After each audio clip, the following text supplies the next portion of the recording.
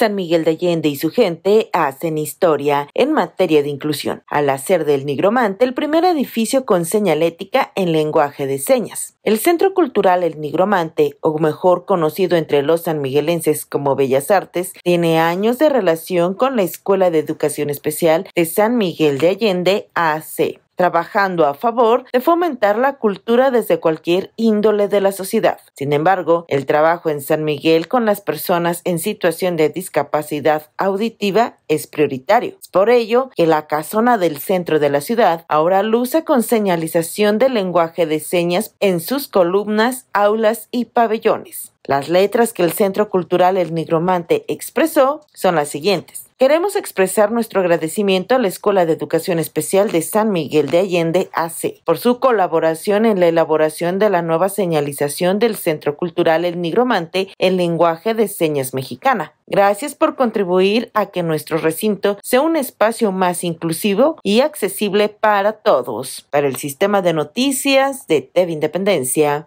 con imágenes de Juan Pablo Fiscal informó Gladys Padrón.